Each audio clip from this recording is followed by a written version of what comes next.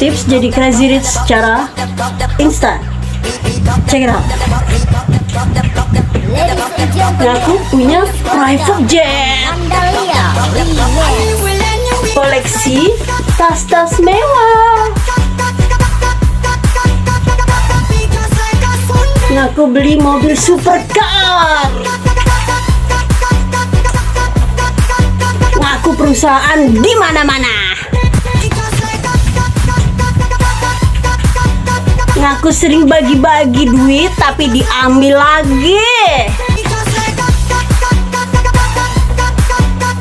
Ngaku murah banget.